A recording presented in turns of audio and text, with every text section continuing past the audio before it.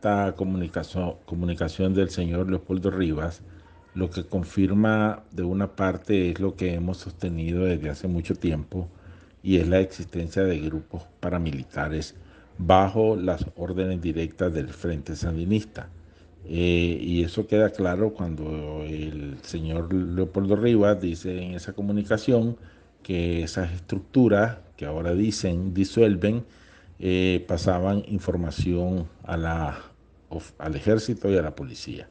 Pero bien sabemos en Nicaragua que no se limitaban a eso, sino que también ejecutaban acciones represivas como un cuerpo paramilitar dependiendo directamente del Frente Sandinista. Entonces, por un lado, esa comunicación confirma esa realidad que hemos venido denunciando y que distintos organismos internacionales también han denunciado y constatado.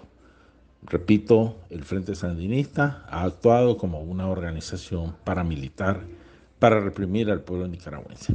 De otra parte, pues, cualquier cosa que venga de, esta estructura hay que ponerla en tela de duda siempre.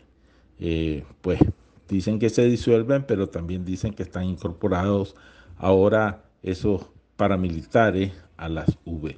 De tal manera que esto puede ser una cortina de humo con la que pretenden engañar al pueblo nicaragüense y a la comunidad internacional. De lo que no tenemos duda es que así como esas fuerzas paramilitares fracasaron en contener y hacer desaparecer la resistencia ciudadana, también van a fracasar en esta nueva modalidad que dicen ahora adoptan. Pero por sobre todas las cosas, pues queda confirmado que ese aparato del sandinismo ha actuado como un grupo paramilitar.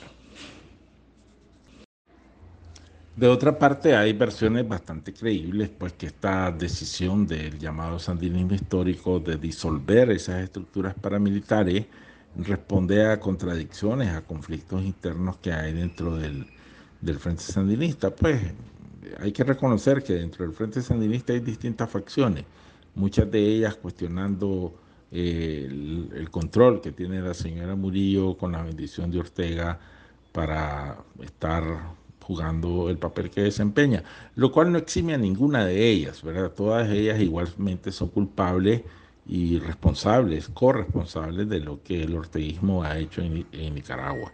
Pero esas contradicciones, esos conflictos son un reflejo de la descomposición interna que sufre ese partido y que sin duda eh, tiene que ver, pues, por supuesto, con el aislamiento internacional y con el repudio nacional que tiene el orteguismo y que sin duda también va a ser un factor relevante eh, para que en Nicaragua se logre pronto un tránsito a la democracia saliendo del orteguismo. Eh, lo que va a ocurrir más temprano que tarde. Lo otro es que en esa comunicación del señor Leopoldo Rivas implica directamente al ejército y a la policía y por lo tanto, en el caso particular del jefe del ejército, Julio Avilés, tendría que responder ante esa implicación que le está haciendo el jefe de los grupos paramilitares del llamado sandinismo histórico. Y por supuesto eso hace, contribuye a, la, a los delitos en los que está incurriendo desde hace tres, cuatro años o más eh, Julio Avilés como jefe del ejército, que fue incapaz de desarmar a los grupos paramilitares y queda confirmado pues en esta declaración del señor Rivas que ellos estaban coludidos con el ejército. En el caso de la policía pues ya sabemos que eso está total, directa y abiertamente al servicio de la represión del régimen, pero también queda confirmado que están coludidos con los grupos paramilitares.